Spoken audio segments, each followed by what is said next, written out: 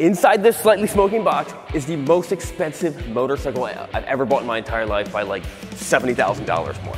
But before we pop this box open, let me explain to you all the events that actually brought us to here. I just bought a $100,000 motorcycle. Let's get out of here before I have to buy something else. All right, so guys, this is a once in a lifetime opportunity where the National Motorcycle Museum is is closing down and they're auctioning off everything inside here. Now, a few months ago when I found out about this, I was scrolling through the list. There are motorcycles here that I've seen pictures of like my entire life at, at motorcycle dealerships I didn't think actually really existed. They're here and they're for sale. I have the opportunity of buying it. Let's go in there. Let's go see it. This is a huge deal, and I want to buy one. I want to buy one and drive one. So let's uh let's go see if we can get something. Now here's the fun thing about auctions. You guys know I love going to auctions. The fun thing is you never know what you're gonna get. You never know if you're gonna get a good deal or a bad deal. I mean, it looks like a lot of people showed up, but wow, that dude got something awesome. But I'm seeing a lot of awesome motorcycles and a lot of people's trucks. That's a cool bike. People are rolling stuff out right now, so we got to uh, get registered and let's get this going. So we got our registration set up and got our media pass, which allows us to film inside. Unlike that other auction that will remain nameless, who no longer lets us film, the NPA. Uh, I've, I've been to museums before, but never a museum auction. This is literally my candy store. There's hundreds of bikes here, but only a reasonable amount of bikes that actually interest me. And those are the bikes that I need to put my eyes on before the auction starts in just a few hours. All right, so there's about like, there's 25 bikes and I'm like, ooh, I'd be all about buying those. Like that's a possibility. But then there's like a handful that I really, really want. So let's keep on, uh, let's just start looking at them. The WLA, that, that's not that much better than what mine looked like. Something is making a noise. My audio recorder? Do you have something in your pocket that's making a noise? Like uh, like something's playing? Yeah, it's that guy.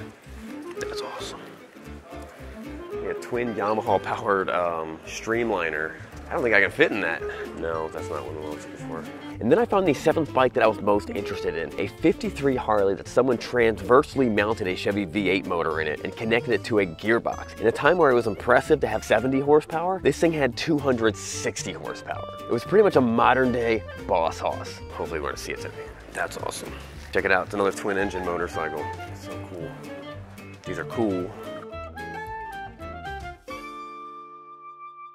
Now this is a bike that I probably gonna be trying to be pretty heavy on. I think what I have is like the civilian version of the Papoose, but this is the military version of the Papoose that would have actually sat inside of a tube. And I am definitely, I really wanna get one of these. Like they're, they're so cool. I'm super pumped about that. It's the beautiful bike. It's a WR. I think it's claiming 45 horsepower. That's a powerful bike. I don't need another. Uh, I, I, might, I might keep an eye on it. I already have a flathead. I want a knucklehead. Those board tracks are so cool.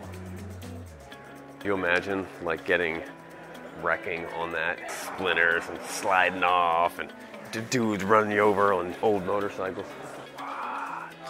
Steam cycle. I've been actually, I've been, I didn't see this on the list. Comment below if I should build my own steam-powered Harley Davidson.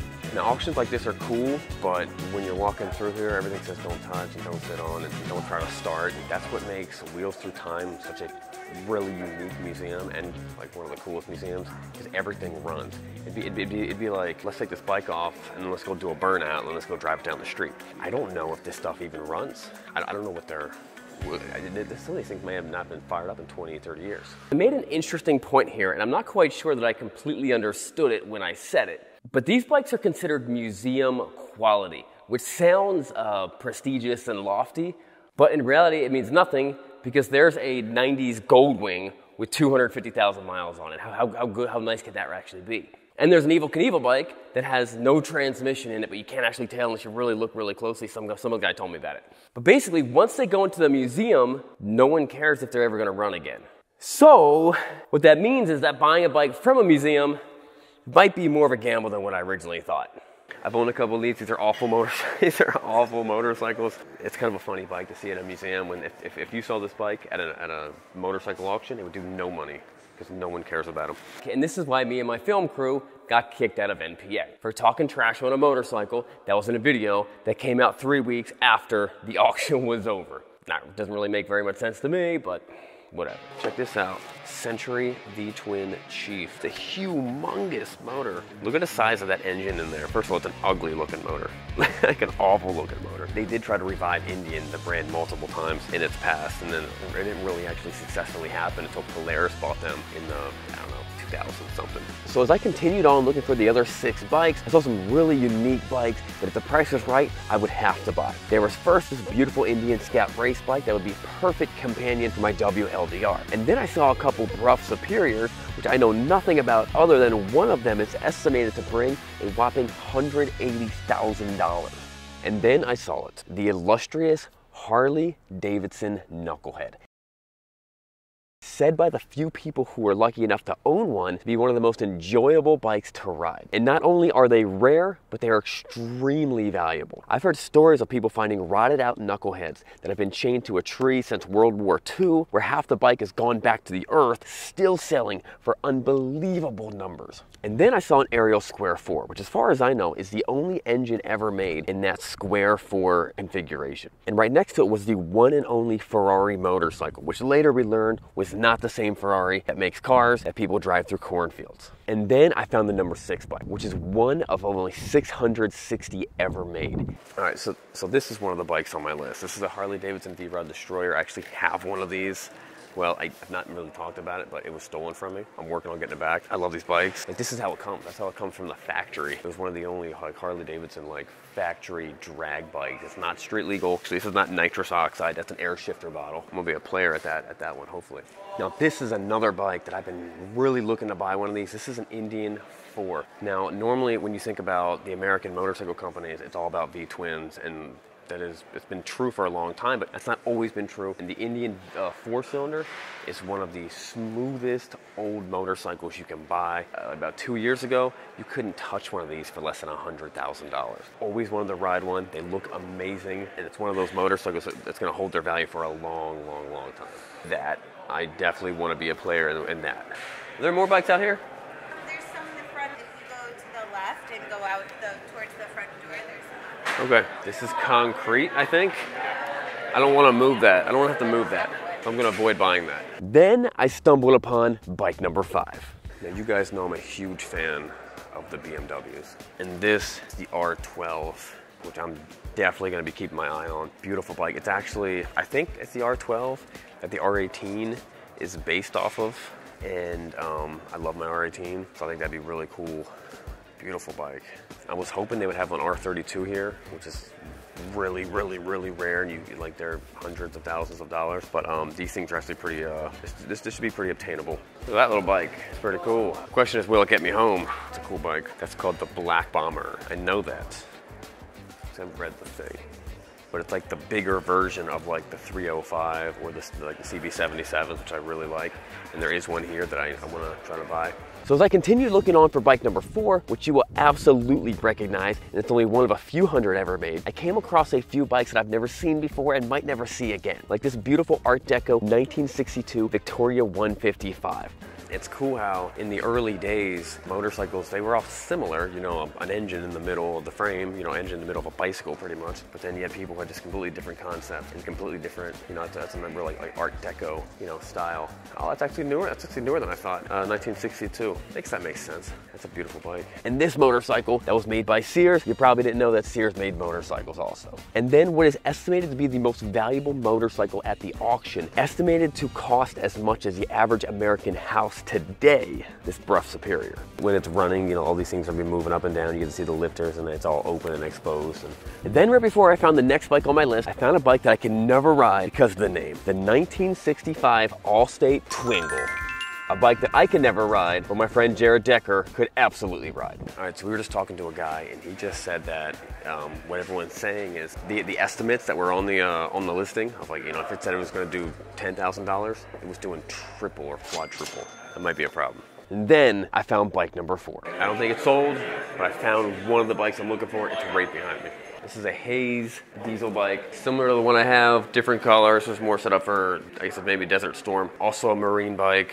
I have no idea whether it runs. I'm sure. Hopefully, it's not as busted up as mine was, which mine should be coming back really soon. I paid 21 for mine. I'm excited to see what this one sells for.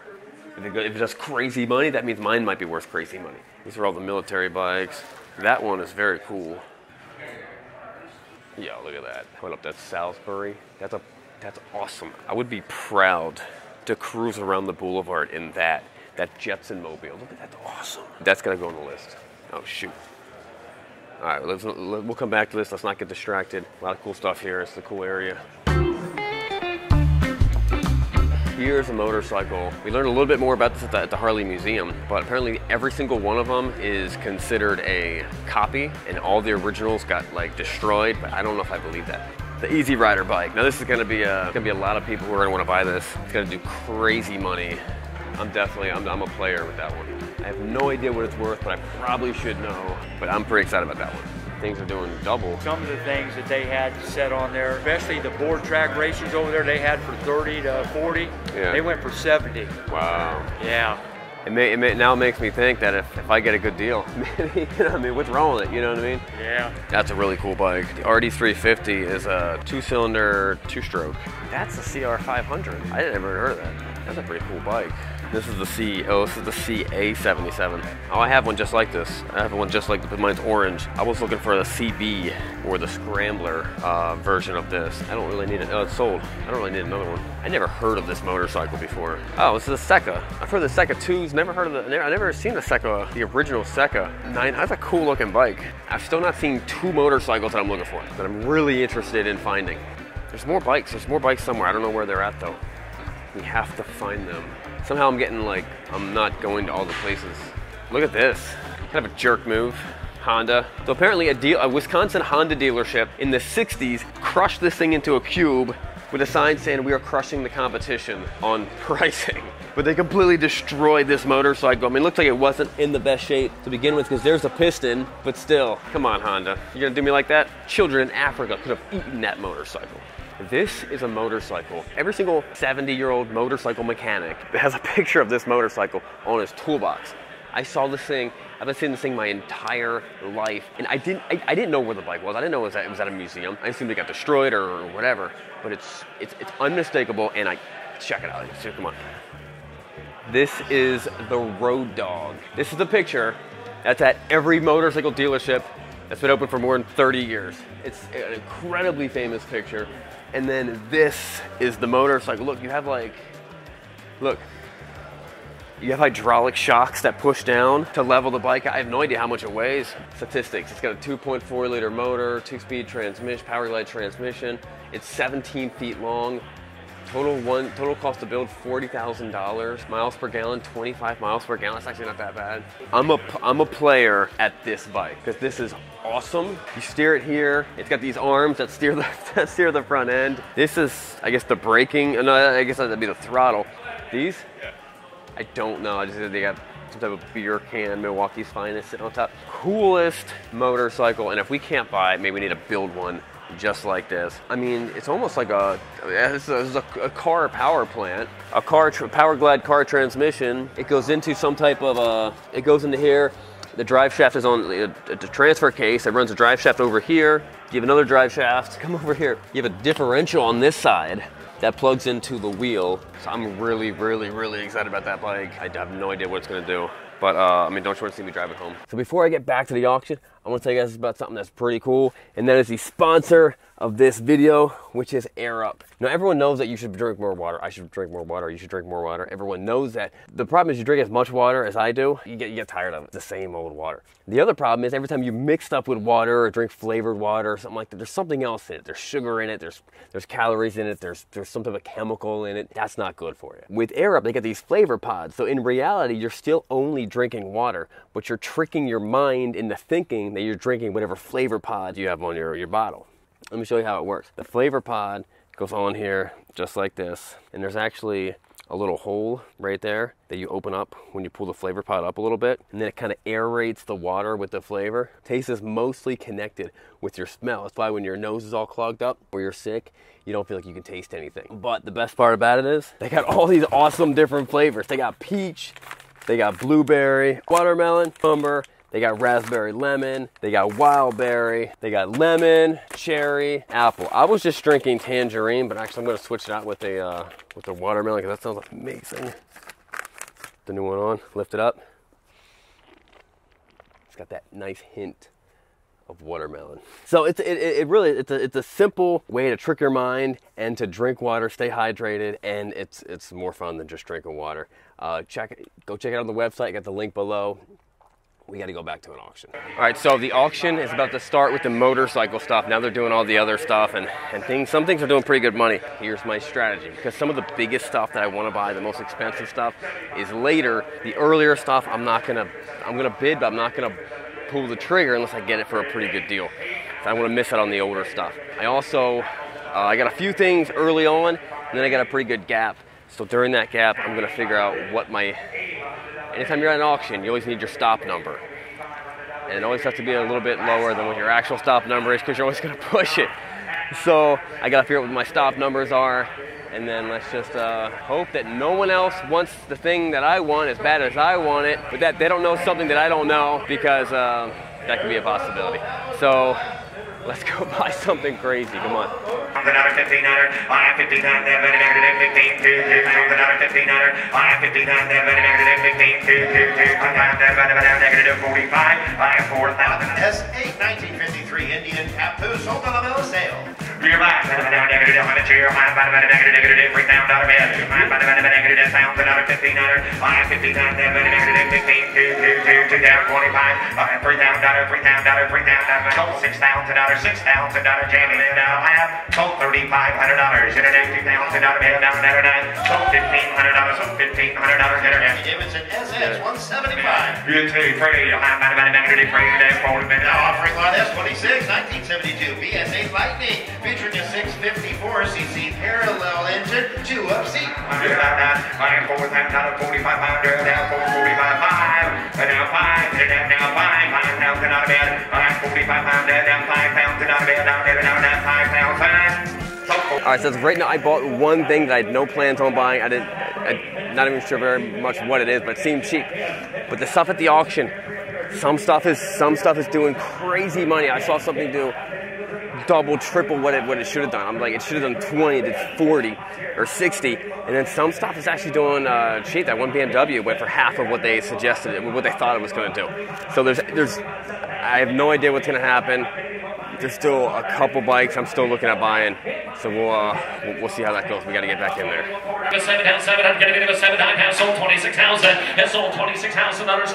All right. So the next bike coming up is the KLR Diesel. I already got one. I got a bunch of money in mine.